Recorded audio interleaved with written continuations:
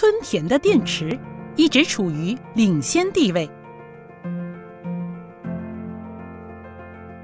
一九九一年，抢先将锂离子二次电池商品化。一九九八年，抢先将镍系正极材料锂离子二次电池商品化。二零零三年，抢先将大功率锂离子二次电池商品化。二零零四年，抢先将无汞氧化银电池商品化。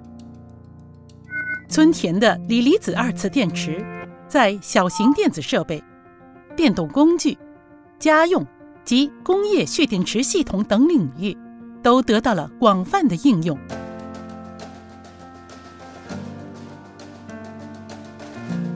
村田目前正在生产以下锂离子二次电池。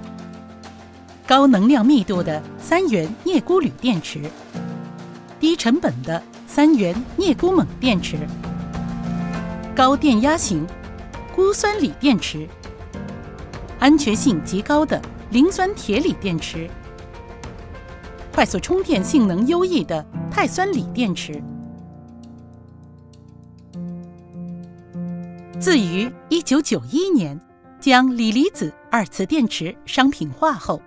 村田先后推出了多款锂离子二次电池产品，积累了丰富的实际。二零零三年，将大功率锂离子二次电池商品化。二零零四年，累计出货量达到十亿只。二零零五年，将烯类非结晶负极材料大容量锂离子二次电池商品化。为大容量化电池的开发奠定了基础。二零零七年，累计出货量达到二十亿只。二零零九年，将橄榄石型磷酸铁正极材料的高可靠性锂离子二次电池商品化，并成功实现了高于以往的安全性。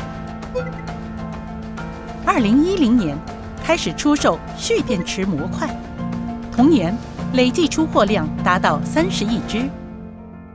二零一五年，累计出货量达到五十亿只。此后，村田的锂离子二次电池也广受客户支持，于二零二零年五月，累计出货量达到了七十五亿只。村田的圆柱形锂离子二次电池。是金属罐的外部包装材料型，具有大功率、大容量的特点。其应用范围涉及从家电到住宅、工业、电力系统连接用途等多个领域。另外，大功率、大容量的特点还有助于提高移动设备的工作时间。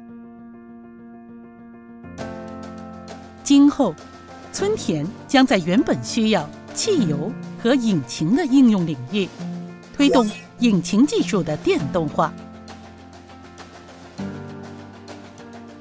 该技术将帮助用户解决噪音和震动的问题。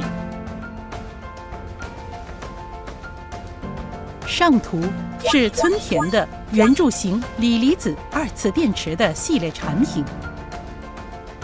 我们正在进一步完善鼻阻抗化技术，开发最适合小型引擎电动化的新产品。